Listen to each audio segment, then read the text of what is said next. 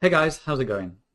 I just wanted to make a quick video because I recently downloaded Final Fantasy X Remastered and unfortunately found that you're not able to set English subtitles with Japanese voices. After searching around for a while, I did find a way to easily enable this, so I just wanted to share it with everybody who uh, would also like to do the same, as I generally like to play my RPGs like that. So the first thing is that this is not a method that I've created, but is something that has been created by XY Freak, and they have posted on the uh, Steam forums for Final Fantasy X, X2 HD Remaster, and provided a download link and some basic instructions on how to do it. Because I want to do this for the Steam Deck, there's some things that change slightly just to be able to uh, run the patcher uh, and as it details in here, it's a very simple patch that all it does is edit the executables to point to the US path for um, the subtitles and the JP path for the audio. So the first thing you want to do is go ahead and download that, and I'll leave a link, and I think I'll probably mirror it just in case uh, the download disappears, and I'll post that in the video link as well.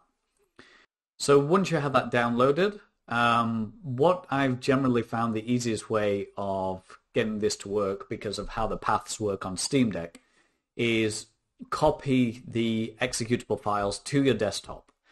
Uh, so the way that you want to do this is go into Home after you've launched Dolphin. Uh, you want to go into the .steam. Now, if you don't see this, this is because it's hidden by default. So you want to do View and show hidden files. I've already done that so I can see it. Go into the Steam folder, Steam again, Steam apps, and then you'll see common. This is where generally all the games are installed by default. So if you have got it installed on your SD card instead, the path that you'll be looking for is uh, if you go to rootfs, you go to run, scroll down to media, and it'll be this folder here, mmc blk 0p1. And as you can see, you'll get your Steam apps here and common, and then you'll see the things in there. Uh, but for me, it's not in there. It's in Steam.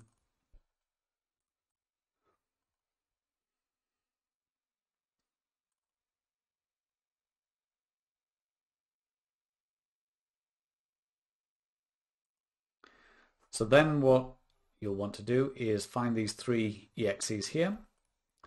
You'll want to copy those. Let's create a new folder on the desktop. Call that FFX. And we'll go in there and paste them into there.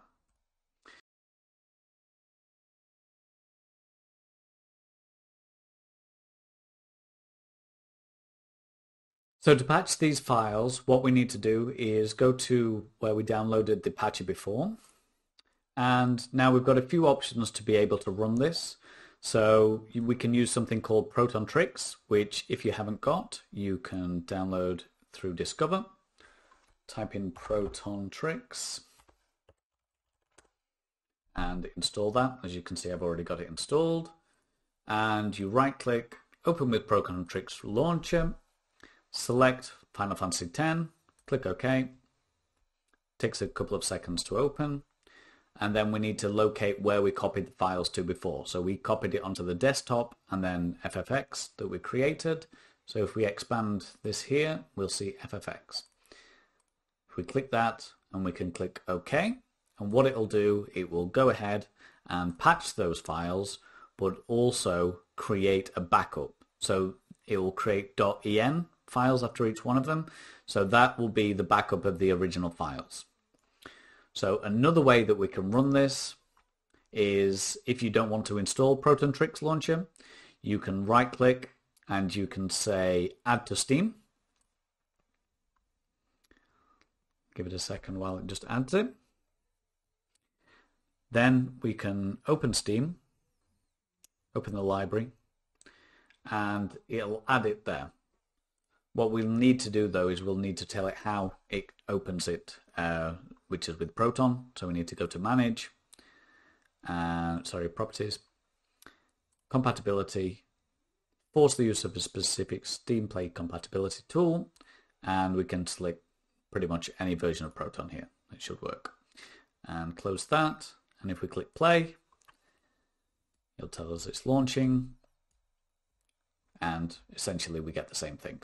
I'm not going to do that because I've already done it with the Proton tricks. So now we have those files. Um, so these are the files that we want to copy without the EN. So if we copy this, we go back into the folder where we originally copied the files from. We paste them in there and it'll ask us, do we want to overwrite them? So we're going to say, yes, apply to all, overwrite. Now, if I am to go ahead and run the um, application,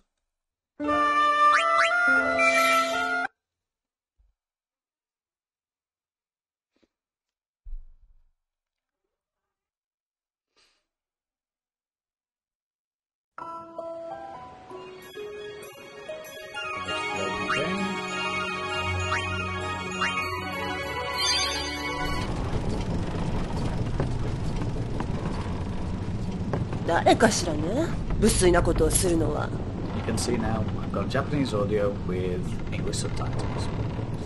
Thanks a lot for watching and look forward to more videos. Bye.